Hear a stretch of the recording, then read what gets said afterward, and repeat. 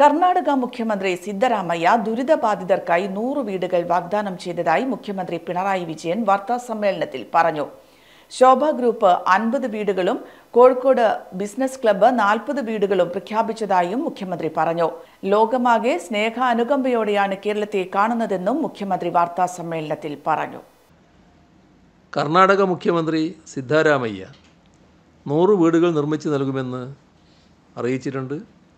അദ്ദേഹത്തെ നേരിട്ട് വിളിച്ച് നന്ദി അറിയിച്ചിട്ടുമുണ്ട് ആ കാര്യത്തിൽ.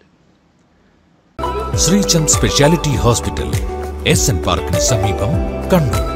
കണ്ണൂരിനൊപ്പം ആരോഗ്യത്തിനൊപ്പം.